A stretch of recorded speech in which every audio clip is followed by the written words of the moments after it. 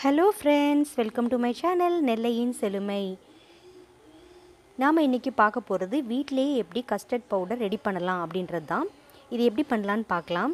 அதுக்கு ஒரு empty mixie jar எடுத்துக்கலாம். அதில் ரெண்டு ஸ்பூன் போல் கார்ன்ஃப்ளவர் மாவு சேர்த்துக்கலாம்.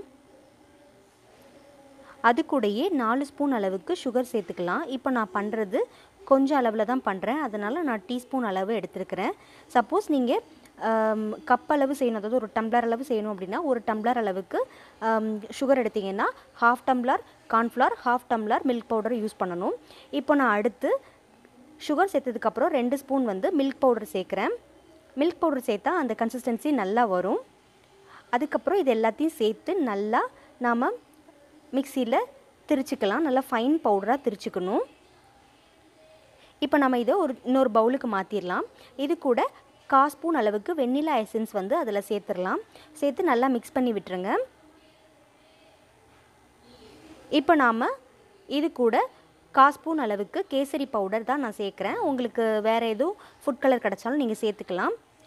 இப்போ நம்மளோட கஸ்டர்ட் பவுடர் வந்து ரெடி ஆயிடுச்சு பாருங்கள் இந்த கஸ்டர்ட் பவுடர் யூஸ் பண்ணி நீங்கள் ஐஸ்கிரீம் பண்ணலாம் புட்டிங்ஸ் பண்ணலாம் டெசர்ட் பண்ணலாம்.